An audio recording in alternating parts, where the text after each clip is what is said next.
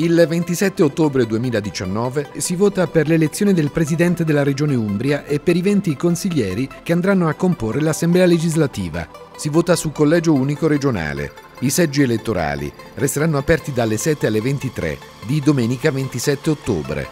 Per votare è necessario avere con sé la tessera elettorale e un documento di identità valido in caso di smarrimento della tessera elettorale è necessario recarsi presso l'ufficio preposto del comune di residenza per il rilascio di un duplicato. Sulla tessera elettorale è indicato il numero di seggio dove votare e il suo indirizzo. Gli elettori riceveranno una sola scheda dove sono indicati i candidati alla presidenza della giunta regionale e a fianco le varie liste regionali collegate al candidato presidente. Sono possibili quattro modalità di voto.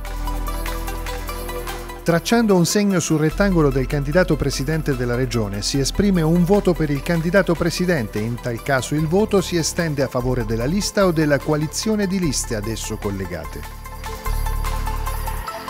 Tracciando un segno nel rettangolo che contiene il simbolo della lista regionale scelta, si esprime un voto valido sia per la lista che per il candidato presidente a cui quella lista è collegata. Si può tracciare un segno sul rettangolo di un candidato presidente e sul simbolo di una delle liste ad esso collegate. Si esprime un voto per il candidato presidente e per la lista collegata scrivere il cognome o il nome e cognome di uno o due candidati di lista senza tracciare alcun segno sul simbolo della lista di appartenenza. Comporta l'attribuzione della preferenza per i candidati, ma esprime anche il voto a favore della lista medesima e del candidato presidente collegato. Si possono indicare fino a un massimo di due preferenze. In questo caso i due candidati prescelti devono essere di sesso diverso, pena l'annullamento della seconda preferenza. Non è ammesso il voto disgiunto, è cioè nullo il voto espresso tracciando un segno su un candidato presidente e sul simbolo di una lista collegata a un altro candidato presidente. È inoltre nullo anche il voto espresso per più liste collegate a candidati presidenti diversi.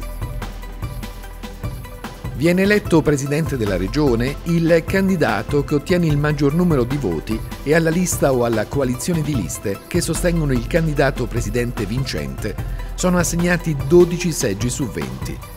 I seggi vengono attribuiti alle liste della coalizione collegata al presidente vincente che superano il 2,5% dei voti validi. Gli altri otto seggi sono assegnati alle liste di tutti i candidati presidenti perdenti che superano il 2,5% dei voti validi. Un seggio viene assegnato al candidato presidente miglior perdente. I restanti sette seggi, in base ai risultati ottenuti, vengono attribuiti alle liste che hanno sostenuto i candidati presidenti perdenti. Elezioni regionali 2019. Si vota domenica 27 ottobre. La sede di Palazzo Cesaroni a Perugia resterà aperta al pubblico senza interruzioni dalle ore 20 di domenica 27 ottobre alle ore 20 di lunedì 28. L'ufficio stampa dell'Assemblea legislativa curerà una diretta streaming sui risultati elettorali che verrà trasmessa sul canale YouTube dell'Assemblea legislativa dell'Umbria.